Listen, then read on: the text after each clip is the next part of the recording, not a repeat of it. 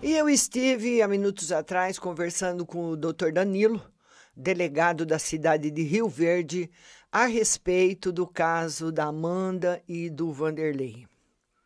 E me apresentei para ele e disse se ele tinha alguma notícia, como que estava indo o caso, e ele me disse o seguinte: que os exames de DNA ainda se encontram em Goiás estão sendo feitos em Goiás.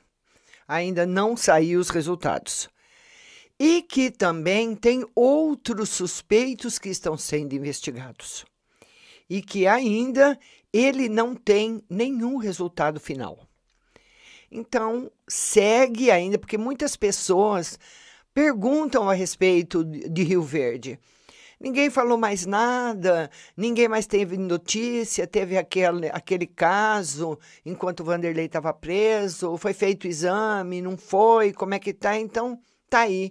Eu fiz isso para você que é meu inscrito, conversei com o doutor Danilo, segue as investigações, também com outros suspeitos, mas ainda não se tem nenhum resultado.